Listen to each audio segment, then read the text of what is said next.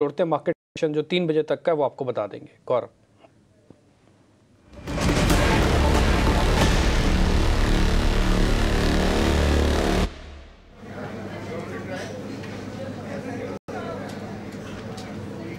जी हाँ अगर हम मार्केट की बात करें तो सबसे पहले बात करते हैं डायनाकॉन सोल्यूशन की, क्योंकि कंपनी को नाबार्ड की तरफ़ से 233 करोड़ का एक प्रोजेक्ट मिला है और इसके बाद अगर हम स्टॉक की बात करें तो स्टॉक ने 20 परसेंट का अपर सर्किट जो है वो आज के दिन में ही हिट किया है।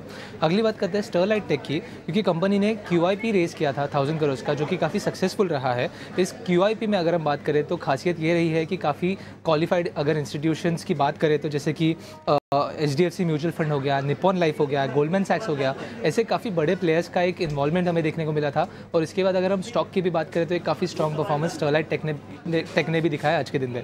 अगली बात करते हैं पीएनसी इंफ्रा की, क्योंकि कंपनी को एन के साथ जो भी सेटलमेंट हुआ है फ़िलहाल में ही, उसके दौरान वन टाइम सेटलमेंट मिला है कंपनी को हंड्रेड का। और इसके बाद अगर हम स्टॉक में भी बात करें तो एक तेज़ी देखने को मिली थी आज के दिन में।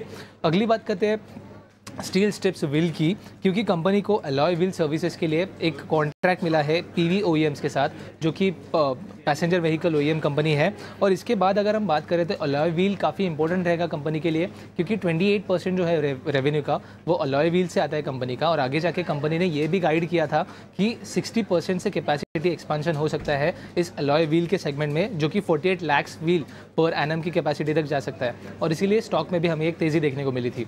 और आखिर में बात करते हैं क्रिसिल की, क्योंकि Q Q one C Y twenty four के नंबर्स अभी हमारे पास आ चुके हैं। अगर हम रेवेन्यू की बात करें तो थ्री परसेंट से दिखने को मिला था रेवेन्यू बट अगर हम नेट प्रॉफिट की बात करें तो उसमें कहीं पे घटावट देखने को मिली थी। फाइव परसेंट डाउन है नेट प्रॉफिट अगर हम वाई वाई बेसिस पे अगर इसको कंपेयर करें तो एबिडा मार्जिन की भी अगर बात करें तो ट्वेंटी सिक्स परसेंट पे थी, जो कि लास्ट क्वार्टर में अगर इसी साल लास्ट क्वार्टर इसी वाई वाई की बात करें तो ट्वेंटी एट परसेंट पे था। तो इसकी वजह से स्टॉक में भी हमें कहीं पे गिरावट देखने को मिली थी। एक टू एंड हाफ़ परसेंट का फॉल देखने को मिला है क्रिसिल में भी। तो आगे जाके ये स्टॉक्स पे काफ़ी नज़र बनाए रखना इंपॉर्टेंट रहेगा क्योंकि एक स्ट्रॉन्ग अपडेट भी आया है स्टॉक्स की तरफ़ से और एक अच्छा खासा मोमेंटम भी हमें देखने को मिल सकता है।